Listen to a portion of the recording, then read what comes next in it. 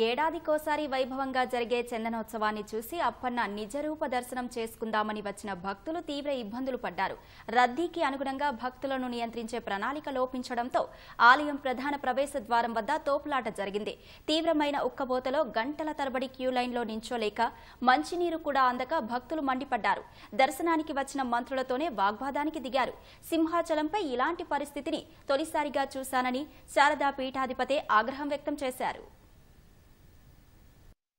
సింహాచలంలో వెలిసిన శ్రీ వరాహ లక్ష్మీనరసింహస్వామి నిజరూప దర్శనం ఏటా వైశాఖ శుద్ధ తృతీయ నాడు లభిస్తుంది. ఆనవాయితీ ప్రకారం ఆలయ వంశపారంపర్య ధర్మకర్త ట్రస్ట్ బోర్డు చైర్మన్గా వ్యవహరించే విజయనగరం రాజకుటుంబీకులు పోసపాటి ఆనంద గజపతిరాజు కుటుంబం తెల్లవారుజామున స్వామి నిజరూప దర్శనం చేసుకుంది. తర్వాత మంత్రులు వారి కుటుంబాలకు దర్శనాలు లభించాయి. ప్రోటోకాల్ సిఫార్సులతో జారీ చేసిన పదిహేను వందల రూపాయల క్యూలైన్ల వద్ద పలుమార్లు తోపులాట చోటు చేసుకుంది. పిల్లలు వృద్ధులతో భక్తుల అవస్థలు వర్ణనాతీతంగా మారాయి. క్యూలైన్లు కదలకపోవడంతో కనీసం మంచినీరు లేక మరుగుదొడ్లకు వెళ్ళలేక భక్తులు తీవ్ర ఇబ్బందులు పడ్డారు.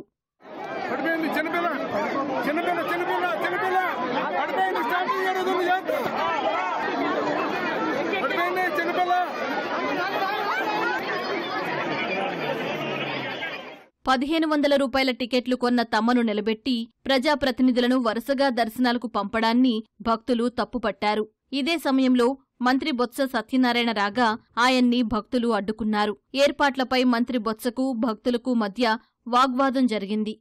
ఆ తర్వాత ఏపీ దేవాదాయ శాఖ మంత్రి కొట్టు సత్యనారాయణపైన భక్తులు ఆగ్రహం వ్యక్తం చేశారు.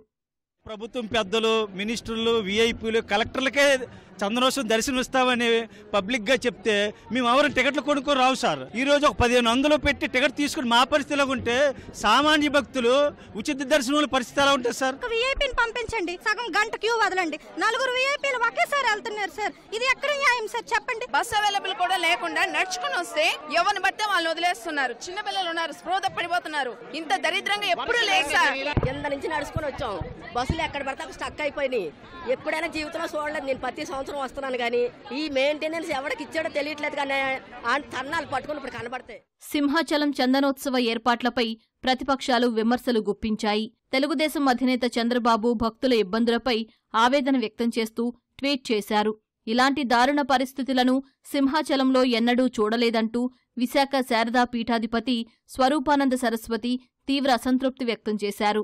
సంవత్సరం అంత వరస్ట్గా చందనోత్సవం ఎప్పుడూ జరగలేదు. మొత్తం గర్భాలయంలో పోలీసులు జులుం ఎక్కువైంది. భక్తులకి ఏ రకమైన సౌకర్యాలు లేవు.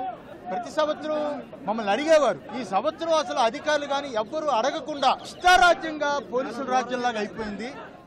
వీఐపీ వాహనాల రాకతో ఘాట్ రోడ్లోనూ ట్రాఫిక్ స్తంభించిపోయింది. భక్తులు కింద నుంచి ఘాట్ రోడ్డు ద్వారా నడుచుకుంటూనే కొండపైకి వెళ్ళారు.